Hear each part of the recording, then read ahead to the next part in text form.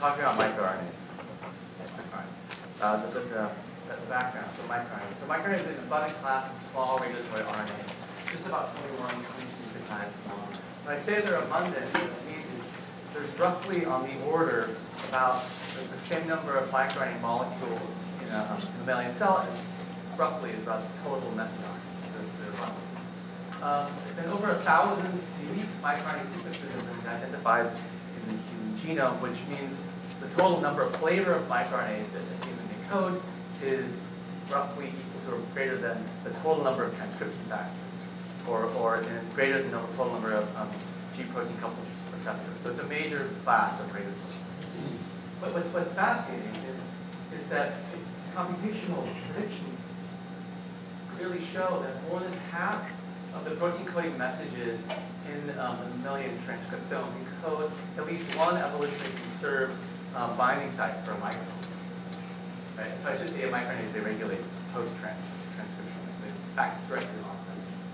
And so there's this growing list of um, conserved microRNAs that are being found to be critical components of diverse um, cellular and physiological processes um, in mammals and in, in all animals and, and plants as well. Okay, so at this point in time, a lot is known about how microRNAs are made. So they, they're born as these long transcripts generally that can fold up into a local structured um, primary transcript. And the recognition of this hair, of this hairpin structure leads to a series of um, nucleotic cleavage events that ultimately result in the loading of a mature uh, microRNA, single-stranded 22 or 21 nucleotide RNA, into a member of the Argonaute protein family.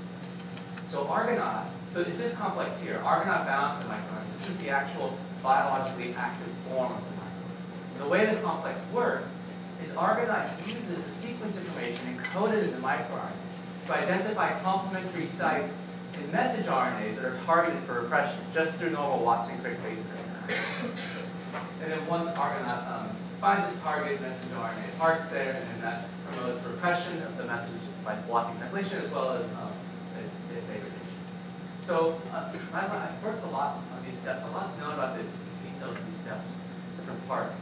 But today I'm just going to talk about this part right here. Um, just, just the question of once Argonaute has its, its microRNA, this guide on it, how does it then find um, the target, its target site, the matching site? It's a question I've been interested in a long time. And then I'll talk a little bit about more ongoing stuff that's still developing, about what happens after Argonaute finds its target RNA. but the search process itself is something I've been interested in for a long time.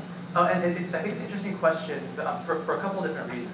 The first reason is, it turns out that although base pairing interactions are what mediates um, the, the, search, so base pairing between the, the microRNA and the messenger RNA, the target messenger RNA, you don't need to have perfect complementarity. You don't need base pairing throughout the microRNA. And in fact, some nucleotides of microRNA are far more important for making stable interactions with the target than others. So for example, nucleotide 1, the 5 of the microRNA, doesn't seem to be involved at all in the target line. And in contrast, um, nucleotides 2 through 8, which is the term seed region, is the most important, the most evolutionary conserved um, of um, target. In, fact, in fact, most, so the majority of microRNA target sites found work primarily just through this, um, just through these seven base And then after that, what's strange is um, pairing the 9, 10, 11, and 12 is almost never seen. Now, there are, in some cases, about 5 to 10% of the microRNA targets sites have been looked at very carefully, um, complementary to nucleotides 13 through 16. Um, so this has been termed a supplementary site because in and of itself doesn't seem to do much. Having complementary here by itself doesn't do anything, but it can supplement repression that seems to be initiated first by the seed region, the that is and so, so one level of um, interest, after 16, these nucleotides, they're there, but they don't seem to contribute at all to recognizing the in general.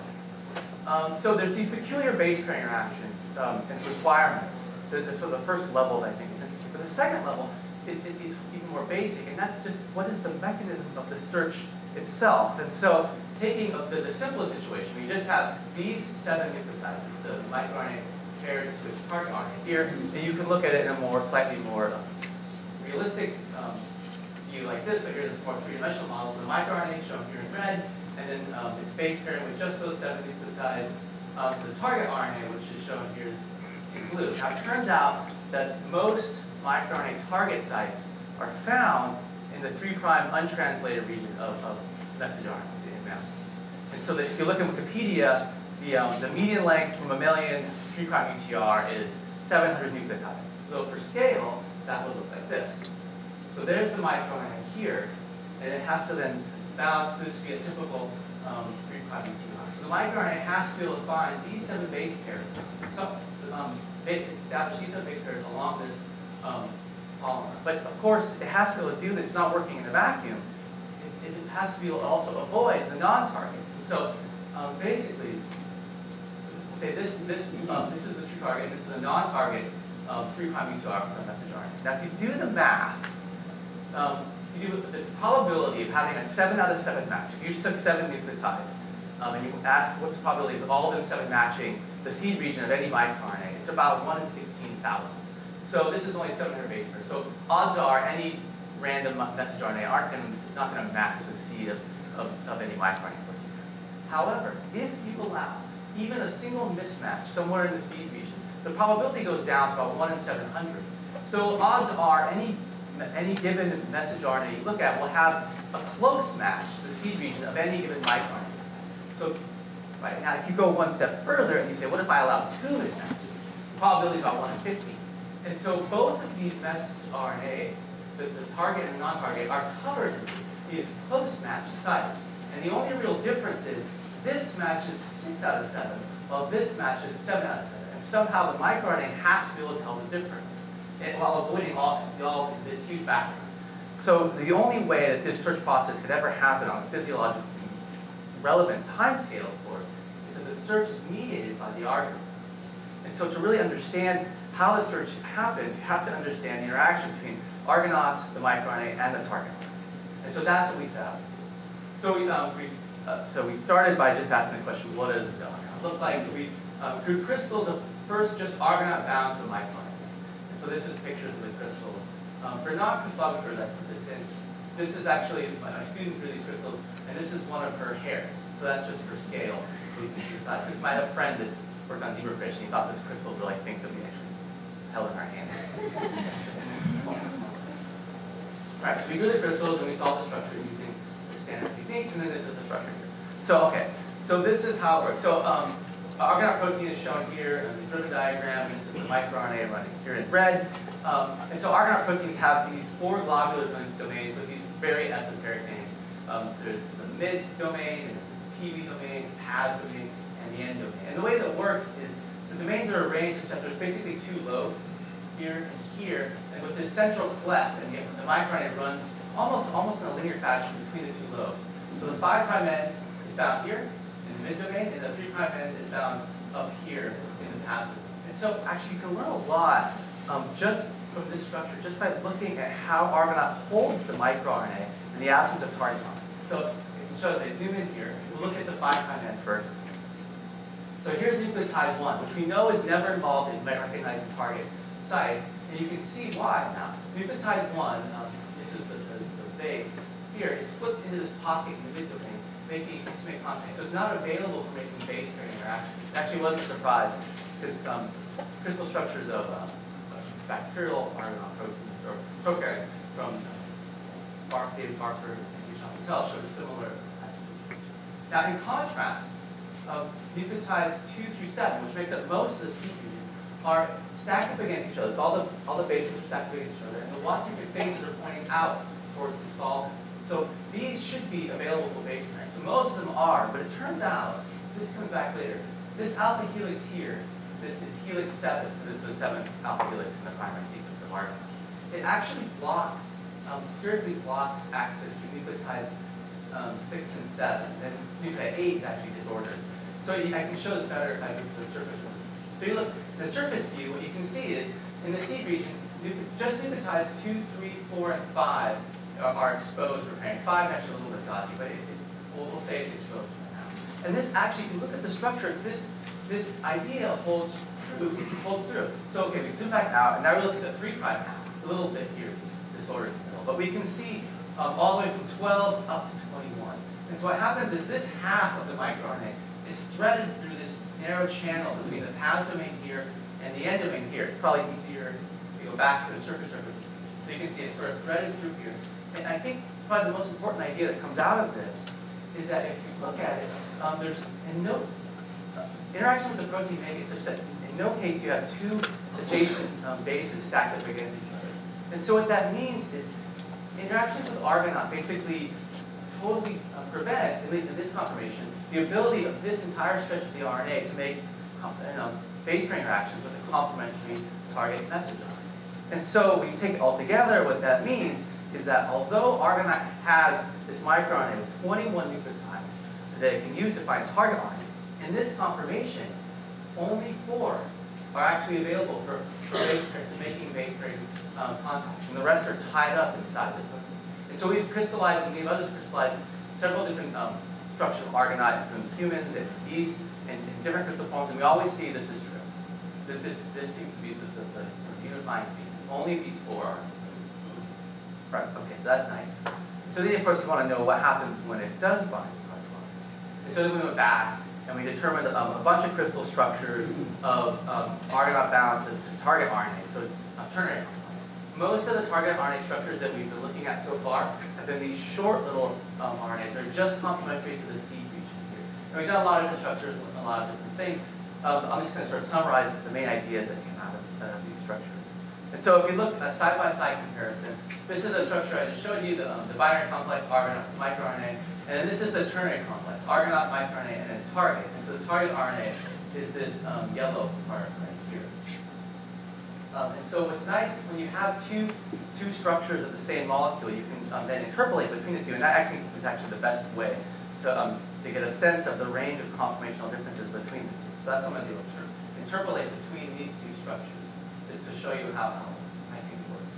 So it's just starting with the protein alone. So this is, um, this is before the target RNA binds, if you interpolate to the target bound structure, you can see basically this part moves. So it's, it's a very simple movement. There's a hinge right here, that runs through this beta strip, this beta sheet, and it's just basically pretty much just a rigid body movement of the PAZ, which results in an opening of the central here. Now, if you do this, um, if you look at the microRNA, you see the much more sort of dramatic rearrangement. And so what you can see is this whole part here does a, a major rearrangement, um, three prime half. There's also this nucleotide here, the, the very um, C three prime nucleotide. It doesn't actually change conformation, but for some reason the program makes it do a full one uh, 360 flip, and I, I can't make it not do that. So it looks a lot more dramatic here than it is. But after about three hours, I just gave up. but, all right, so, so this part is definitely doing a major rearrangement. But if you look here in the seed region, you can see it's also sort of expanding, and, and it's actually moving towards A form um, between two conformations. And so I'm going to start by zooming in here first, because that's where the target RNA lies. All right, so zooming in, just to orient you, you didn't, this is the, uh, the three, five ends, that one's here, and the two, three, four, and five are pointed out and are exposed for target pairing, and then six and seven are currently included by helix seven. And so I can take I can dock onto the structure, the target RNA, I have that structure, and you can see it's perfect, there's plenty of space for, for, the, for two, three, and four, one column, even five, you can do it. Uh, but then this RNA is going to write into helix seven. And so what I'll do now is I'll interpolate to the actual structure where the target RNA found. We see helix 7 moves out of the way, and it actually releases constraints that the helix seems to be placing on the sort of second half of the seed region. So you see um, it'll go up, and this thing moves up, and then the rest of the seed region becomes ordered. And now you can see there's space here for the, for the rest of the target RNA bind, and there you go. So, so I, when I saw this, I, went, I said, okay, that's totally what we predicted, of course. Helix 7 has got to move out of the way because you, you can't have two atoms in the same place at the same time. So it wasn't a surprise, really, to see helix 7 but what was a surprise, what was really nice, is where helix 7 goes after it moves out of the way. It turns out, if you look, this helix 7 now lies in the minor groove that's in the duplex that's formed between the target message RNA and the microRNA here. And it makes really intimate contact with the minor groove. So it's probably easier to see from the side, moving to the surface. So you can see it makes these, inserts these hydrophobic residues in the minor groove here. It makes almost perfect shape complement so this led to a really nice idea in that helix 7 may be serving a proofreading function. And so the idea is this. So Argon has a tricky problem. So it has to know when it's bound to the correct um, target RNA sequence, but it has to be able to do that independently of sequence. Because it wants to be able to work with the microRNA in sequence. And so you can't use sequence-specific contacts to check to see if the sequence you want is right. So what it does instead, I think, is it looks at the geometry of the duplex formed between, um, between the, the target and, and the micron. And so the idea would be that if you have perfect base pairing through the um, seed region, you then form an A-form helix, which then presents an A-form minor groove, a perfect docking site for helix 7. If, however, you have a mismatch, or even a GU wobble base pair, the bases will slide past each other that will then present a distorted minor groove helix 7. So you lose this binding site for the for this helix, which then the, the model is would be then more likely to shift back down, and that would help displace the mispaired target RNA as well, as well as push the microRNA back into its more scanning mode, where it's just denucleotides are exposed. That's the, that's, that's the idea for how you can proofreading by this helix here. Right, so that's what happens in the seed region, but of course, uh, I made this big point about the major rearrangement in the 3' prime half of the microRNA uh, as well in target lines. I think the reason this happens is, uh, it turns out that helix 7 is actually connected to the plasmid in such a high residue between the two. So actually move as one rigid body, so you can see, there you go. That's what it looks like, they move together. And what happens when the plasmid moves, it opens up this channel that's holding this, half of the microRNA. And so you can see these are surface here are closed, and then once the target RNA stably binds, this thing opens up. And now you have all this extra space in here. Now this part's really nice. Um, so if you look, nucleotides 13, 14, 15, 16, these are the supplemental region. They can supplement repression that's first mediated by the C over here. Um, in, in, the first conformation, there are basically no two nucleotides attack each They're tied over the side of 13. But once the cleft opens, now you have um, this, this RNA just seems to just rearrange such that now the, the supplemental region here um, is now in a helical conformation. The Watson-Crick edges, um, well, all bases back against each other, Watson-Crick edges facing out. So it's like a second little mini seed region that forms, but only after pairing, stable pairing to, to the, the real seed. And so this is really nice because now we go, we go from a situation where originally the first conformation we had four base pairs exposed from pairing. Now we have 11. We have the full seed region 2 through 8, and then uh, it's also now 13, 14, 15, and 16. And so I think the way that it works is that um, you have pairing here through the um, through the seed region here, and it turns out in this conformation, um, so nucleotide 9 here, color white. In this conformation, there's not actually space inside the central cleft to make a, a base pair to 9. Um, so I think what happens with the vast majority of time in microRNA targeting is that you don't actually make that base pair. The RNA actually exits um, the central um, cleft. And then, that, that, that's enough generally. But if you then, if you had some region of complementarity on the other side, this is the structure, this is just guessing. You then make a region, um, you know, this is modeling. But you can see how it would fit. Um, this region pairing supplemental And this is really nice because what it does is it allows Argonaute to make extensive contact with target messenger RNA uh, with, while avoiding the topological problem or challenge of trying to wrap these two things around each other because they have to interact randomly in two places inside the central cleft. Right, move out. And so what this led to is this really nice model that we, had for how Argonaute finds its sites. It's sort of a stepwise model. And the idea is, it's pretty simple. Right? Stepwise model for is that Argonaute initially just uses the first few three or four nucleotides of the seed region to look for target sites. This is enough to tell it if there is a site there, but then, um, but not so much it'll get stuck. It's, it's just the minimal you need to know if this is a worth a site that's worth checking. And then if there is pairing there, then it can then interrogate further the seed region, which can be then checked or proofread by Helix 7. And then if you have it available, it's a very strong site, you can also have base pairing on the other side of this cleft in the supplement. So it's a really nice model. Of course, it's just a model, and the truth is, these are static crystal structures, so you never really, I mean, you can think full ideas, but you never really know. And so, of course, what you want to do is test it. And so, luckily, we um, established a collaboration with um, Chirlmin Joo, who works at um, Delft University in the Netherlands. He was developing a single molecule assay for observing Argonaute binding to target RNA. So the way the assay works is he immobilizes the target RNA on a surface with a bias and the target RNA has a Cy5 dye, and it enters into this uh, microfluidic chamber um, Argonaute bound to a microRNA with a Cy3 dye. So the idea is that when the Argonaute binds to the target site, it brings the side 3 dye in close proximity to the Cy5 dye. And you have FRET, which you can observe by um, TIRF microscopy.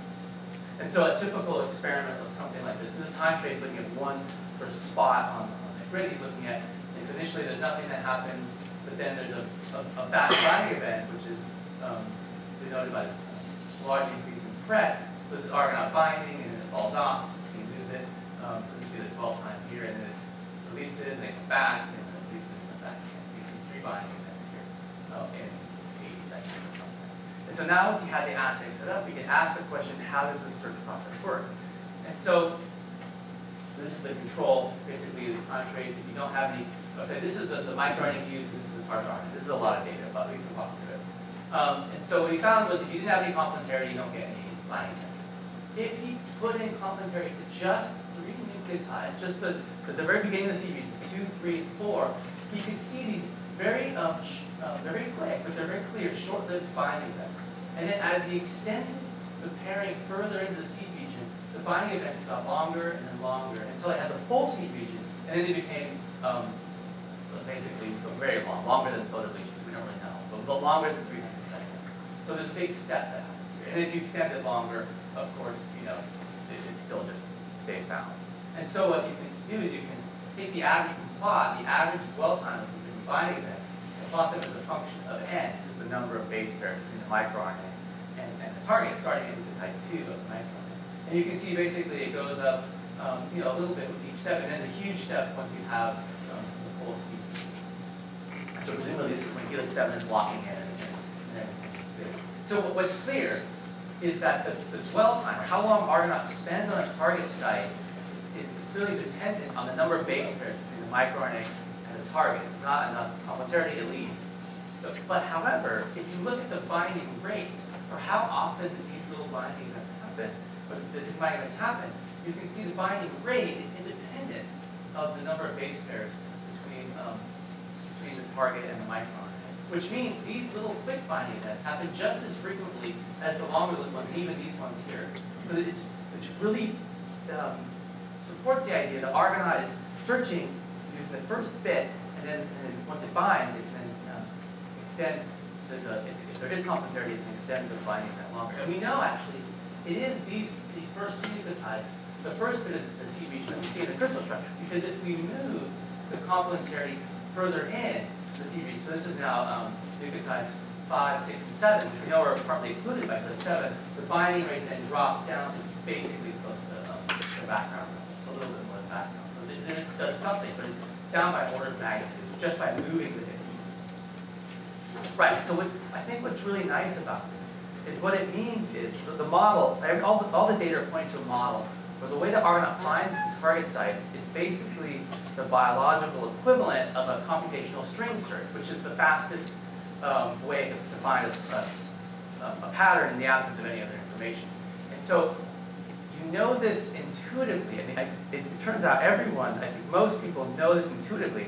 I did this experiment and with the people in my lab. I brought them into my office individually, and I gave them a word search. So this is just a collection of words that you know you remember. If you have kids, can go to like uh, Red Robin and get the menu when they have they have these things on. You have to basically find the word elephant in this jumble of words. So I gave it to every student and postdoc in the lab, and there was, it was pretty variable. So some, some people found it in two seconds, some people found it in 20 seconds. So the speed at which they find it was, was variable. But then when I asked them, like, if you think back, what was the method you used to find it? They all used the same method. And that was that every one of them said, I looked for a small motif. Some looked for E, some looked for EL, some looked for pH, because that's rare. But everyone used exactly the same method, the technique. They used um, that, right? So hopefully by now, you right here. So, but, so, so it's the same method. But what's, but what also, also nice about the structure, if you think about it, so the fact that Argonaute sequesters most of the guide RNA inside of itself to avoid spurious contacts, I think is also really important because there is a huge penalty in terms of just time of search if you um, spend time on non-target sites. It just slows the search down. I can illustrate this one if I just change the word search to this search. I gave the same search to the same students after they've been trained on the first one, and they took, well, it was about, I think I timed it, it was like eight times longer on average to find the same word in the same, on the same number of words. Um, and then the other one student that, that didn't find it at all. and the reason is because there are so many off targets, you get stuck. It just takes a lot longer. Okay, you got like five, four. It's there. Well, yeah, most people can't find it that fast, but uh, you can. Right. So that's so that's the idea for how Argonaute finds its target sites, the, the current model. And so that's basically um, how Argonaute gets here. And so in the last part I was going to talk about is just this is much less developed work, but I think it's a really interesting question. And the question is, what, is, what happens once you get Argonaute here? Because this is just a 3' prime UTR, right? And there's, of course, in the, the full message RNA is much bigger. And so now you have this situation here. So this would be Argonaute to scale with a typical, this is just like a typical message RNA. So there, there would be the cap, this is the 5' UTR. The open reframe would be up sort of here, the string UTR would be here, the poly A tail is somewhere here. And I don't, of course, I don't know how this is pulled up, but this is just for scale. Um, what's amazing is that Argonaute can bind anywhere in the 3' UTR. This little T protein. It can also, if, if you have enough binding sites and can stop the ribosome, it can bind even in here. And from any position in this, in this huge polymer, once Argonaute binds, it then can block, it can somehow interfere with initiation, which is happening at the count. It can certainly promote um, deadenylation, which is happening with poly tail. It can do that from any position in the messenger RNA, just this little protein here. And so I think the instruction is an amazing question, how this little thing can do so many things from, from any position. And so there are some hints. Um, it's clear that if you have multiple Argonaute binding sites, um, they work together, they work better, especially if they're close together. So if they're within 40 nucleotides of each other, the two close, two within 40 is better than two separated. So there, there's some sort of cooperativity or synergistic effect. They also often appear, the most powerful sites appear not actually randomly, but generally at the ends of the 3' UTR. So either near the stop codon or near the, or near the poly tail. Why that is known. But, the, but what's also known is that Argonaute recruits other things to the messenger RNA once it binds. And the, the, one of the main factors it recruits directly is this protein with a terrible, unfortunate name, TNRC6. So TNRC6 is a strange protein. It's, it's 2,000 amino acids long. It's a big protein. And it has essentially no structure. It's a disordered protein. And so if you stretch it out for scale, paired to the messenger RNA, it would look something like this. And then TNRC6 binds, clearly binds deadenylases and other factors.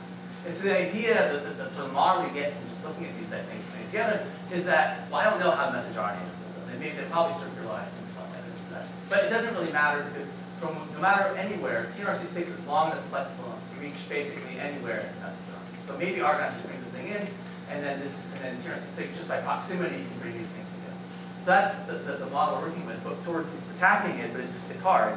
So the first question we ask is just how does uh, this interaction be? How does Argonaute recruit TNRC6? So, um, so this is a schematic of the primary sequence of TNRC6. And what turns out is the first half, 1,000 amino acids here, is this GW domain, which is been shown by many groups to bind Argonaute. And so if you look at the primary sequence, it's, it's predicted to be completely disordered, and there's no motif you can recognize. The only thing that's clear is the preponderance of glycines, blue G's, and tryptophans, um, these red W's. But apart from that, there's no clear motifs.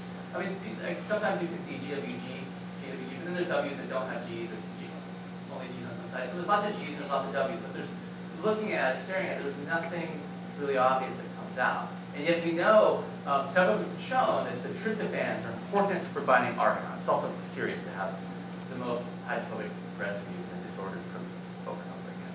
So we asked a very simple question, is does argonaute bind tryptophan? And the answer was yes. So we crystallized the protein in the presence of three tryptophans, the amino acid. We saw right away that the presence of tryptophan changed the way the crystal grew, so we thought that was a good, a good sign. And now we've gone back and done many structures in different, in different crystal, um, in different space groups, and we found is that there are three tryptophan binding sites in the bottom of the PIWI domain in argonaute. So this is basically as far away from the action of the RNA attack here as possible. And so if you zoom in, what you can see is these three tryptophan binding sites all sit adjacent to each other in pockets. Um, and you can see that the surface representation. sort of roll around. This is site, we name this one site three because we found it last. This is the first site we found, site one, and then this is site two. But what's important is that in each case, the tryptophans always bind with the indole side, um, side chain pointing into the protein, and then um, the main chain atom So it's conceivable that all of these amino acids would be bound to a single polypeptide chain. And so what would that mean? That it would look something like this. You know how the structure is. We could imagine a polypeptide chain would then have to traverse around um, surface of argonaute and look something like that. And so we have an idea, okay, maybe argonaute binds like this. This is the part we can't see but we haven't done it yet. But then you can ask the question, okay, if you were to measure from these different sites, measuring around the protein from here to here is about 25 angstroms, here is about 25 angstroms. And so what that means is, if you really were to do this, you would need a flexible linker um, from here to here of about 8 to 14 flexible residues, and then the same thing here, depending on how flexible that sort of. So then you can ask the question, okay, great. Can we find any motifs? We have tryptophan separated by this by this distance. Now you go back to the primary sequence, which appeared to be totally random at first, but now it turns out if you look for this motif, it's it's, really weird. It's it's not perfect there. It's not always exactly E10 nucleotides. There's no pattern you can see, but statistically, it's the, this the spacing is um, highly overrepresented from what you expect by chance. And so it kind of fits with the idea. So basically, now you have these sort of two, in this case, a lot of isomorphisms, but in this case, for two rafts of these evenly spaced, semi-evenly spaced tryptophan And so that's kind of where we are at the model. Oh yeah, so we asked the question, um, do these things, are they involved in binding, um, um, are these tryptophan binding sites involved in interaction with TNRC6? And so we've looked at this, and I think the answer is yes. We looked at a lot of different ways. It's, it's, it's hard to do the experiment. The first thing we did is just co-express the two proteins um, in, in 293 cells express Argonaute and express TNRC6, pull down Argonaute by IP, and then do a Western blot to TNRC6. We do that, we do a flag, AGO2, we pull down flag, and you can see plotting for TNRC6. The wild type Argonaute, you see the band. There's a negative control. There was a, um, a, a, mutant in Argonaute. Was known not to bind TNRC6. It actually turns out to be a mutation right between site 1 and site 2, um, which is here, and so that's good. You kind of lose a little, little bit of fun. Then we have our own mutations in, in sites, trying to basically disrupt the hydrophobic character of the site. If we mutate site 1, we lose the IP. If we mutate site 3, we lose the IP. But site 2, we mutated this, I don't know, breaking it or it's just not important. When we mutate site 2 binding site, uh, it doesn't seem to interfere with the IP. But there's other assays. Um, this, this part's still in development, but, um, it, but it's good. So there's another assay you can look at, and this is looking more inside the cell. It's less direct, but is happening inside the cell. The idea is for this assay, you make a Renilla luciferase reporter, and you can put in the 3' UTR these box P which will bind this lambda N peptide. So you can make, you can basically directly tether your Argonaute protein to your reporter. And the idea would be that if Argonaute's functional, it will then recruit TNRC6, which will then repress um, the, the, reporter. And that's, so it's a nice luciferase. And so this totally works, um, and we didn't develop this as well. Um, so basically, if you tether the wild type Argonaute to the reporter, you get about four-fold repression, which is sort of microRNA-like. If you take any one of those um, binding sites, you see about half the repression goes away. And if you mutate any combination of two sites, except for this, so we site one and site two, you lose not all of it. But anything, anytime you take site three with any other, then it goes basically back to baseline and trigger using force set activity. And so it looks like all three sites contribute, but there's something, there's combinations seem to matter. And then, um, right. And so the model is Argonaute binds here, uh, it finds a site, and then so it binds to the island, then recruits TNRC6 to this little tryptophan island, and then, um, right, that brings in the deadenylases and other factors, whatever does. And then, so give another Argonaute nearby, it's supposed to, bind to another tryptophan island. Um, and then that will then, you know, just through avidity help binding. This is totally but this is where we are right? And then you have another Argonaute up here, which um, may interact with separate 6, or it could actually help bring things together. So basically now you're bringing all factors together right? because all these tryptophan islands are um, within proximity of each other. Of course, if you look, this is where it gets kind of crazy. We only have three um, Argonautes found here, but count number tryptophans. TNRC6 can easily accommodate 7 or 10. So there are probably be some tryptophans unsatisfied. So you could, in principle, have another Argonaute protein bound to a distinct different messenger RNA, which would then have maybe another Ar- Argonaute, which could bring in another TNRC6. And once you do that, now it's kind of game on, right? Because you can just keep going and build up this massive sort of uh, repressive conglomerate. Which, um, but, but this is nice because in this situation, it doesn't matter where Argonaute is relative to anything because everything is just being brought together inside cell. And so it seems maybe a little bit crazy, but it, there is some evidence for something like this happening. Because if you look at mammalian cells, um, TNRC6 localizes to these discrete bodies, these GW bodies. Um, so this is the HeLa cell here, and this is standard for TNRC6. Th- This was shown a long time ago, probably a decade ago. Argonaute co-localizes. You can see that's Argonaute shown here. At it, co-localizes. So we did, we mutated the tryp- tryptophan binding sites. What we found is mutating any one site, you still see co-localization. But it's, it, it's, it, and, it, and also if you mutate site one and site two together, you still see co-localization, which is similar to what we saw. We still see repression in the uh, assay. But anytime you mutate site three to any of the other two, um, then you lose um, co-localization. And of course, the triple, triple does. And then I should say, we tested the Argonaute proteins otherwise perfectly fine. They bind microRNAs. and They have all the other activities. So the mutants are very, very, try hard to be very careful not to just mess with the protein entirely. So that leads to the, the summary. So basically, there's only two ideas.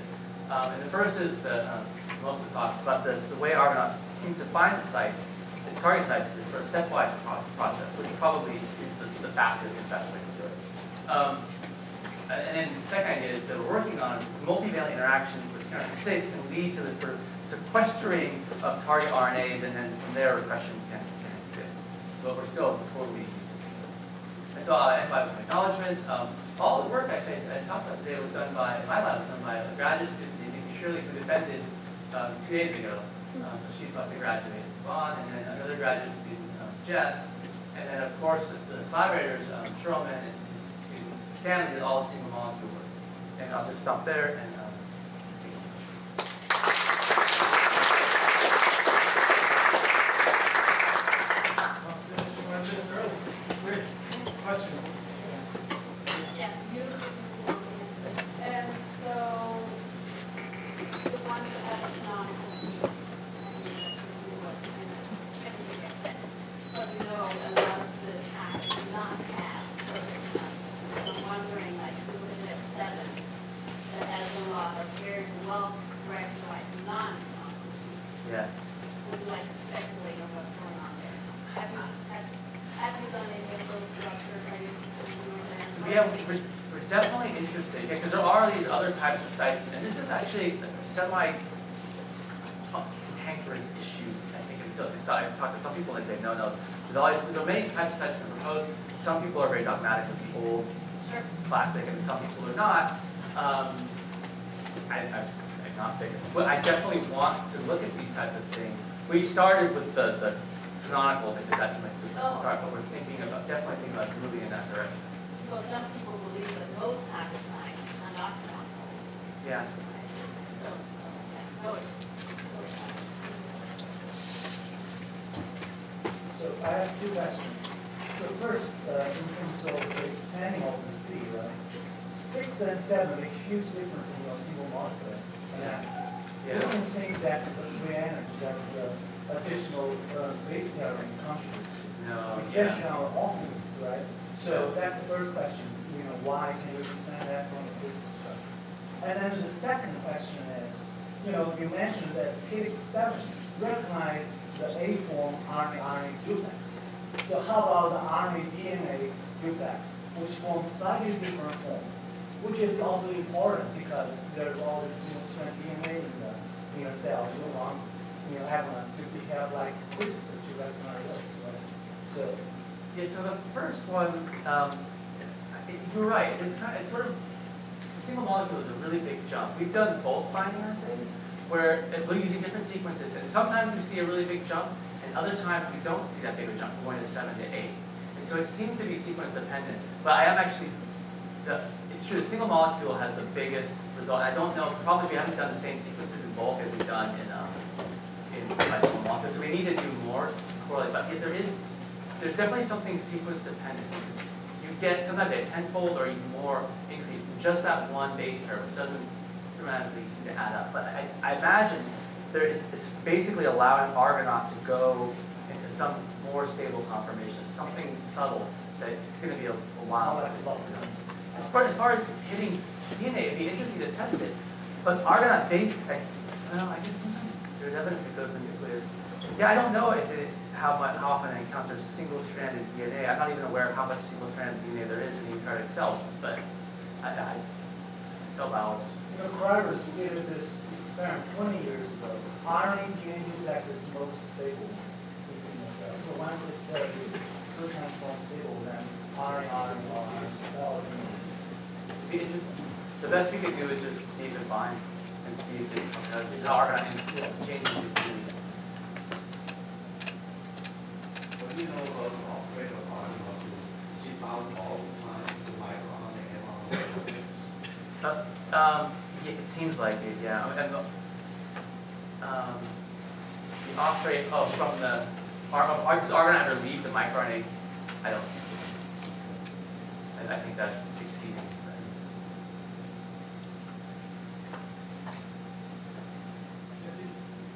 Um, I, I guess following up on, on the thermodynamics question. So as you're increasing the number of base pairs, right, you see an increase in affinity. Does that go hand in hand with sort of predicted base pairing uh, affinities that are driven by the RNA RNA interaction?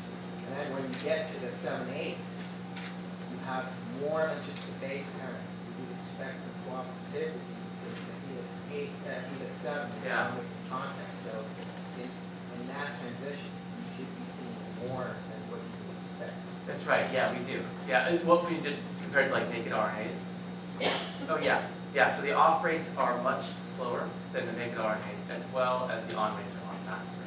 And you see that big jump between, let's say, having a helix that, that, that goes into the position in seven, eight, and one that only goes to six. But, uh, sorry, I'm not quite So. I'm trying to, I'm trying to get, uh, to whether you see indication of that cooperativity. What is, what is the, what is the extra binding that you get from, uh, let's say, That last. the last, the helix seven getting into the loop? Yeah, I, mean, I, I think that's what we see, I mean, we don't, I think, I, what would be nice to do is, if we have the, we don't have Helix seven, we could ask the question directly, if Helix seven contributes this big jump. So I don't, yeah, Yeah, I just I just wanted to ask about your, your on rates and how you got the on rate from that experiment. And then if you did that same experiment in the of other competitive RNA and looked to see if you changed. that's, yeah, that's a good question. So, I mean, so single molecules I'm not an expert in, but I think there's two ways of getting on it. One that they do is, um, they basically measure like binding events. They know exactly when it enters the, the chamber, they see how, how long it takes, and they plot binding events over time. If you've not done it, I'm, I'm very interested to see what happens when you put in competitors that get distracted if you haven't done this experiment. Just when I look at the line events of the product, I was coming to the conclusion that the on rates were different, and then you have that graph. Yeah, yeah, no, yeah, they're the same. Yeah, yeah, I don't. So you didn't explicitly uh, indicate whether you're following, whether you either do a strict scanning model that would explain the association, or whether you bootstrap it off, uh, that's the first question. And the second question is, I expected you to tell us that the structure shifted so that TNRC six could bind after the microRNA was bound, and you didn't predict that. No, well, so those binding sites don't seem to care, but might always be bound, it's not clear. There, there are other hydrophilic pockets we're looking at that do open, there's one that opens upon target clearance, we don't, haven't checked it yet. It's sort of buried, it's hard to get at. The scanning, I think it does scan, we have some evidence for this, I don't, Is that directional? no. So what we have, uh, uh, I have too many. But basically, what we've done, what, what Truman did was put two target sites in the same, two sites in the same, um, target RNA. And then one would lead the high FRET, one is the low FRET, because where the position. And what he saw was once it bound and engaged, it would then, it shuttles back and forth between the two sites, um, about like ten times and it falls off. So, so that's the best evidence that we have for this sort of scanning. And once it engages, it seems to stay associated. It doesn't miss the next one. If it slides that way, fine. But if it's rolling or scanning or hopping, it's not, you know. But it scans in which, directions. Yeah, it just goes back and forth. Yeah, just goes back and forth until fall time. Thank you very much.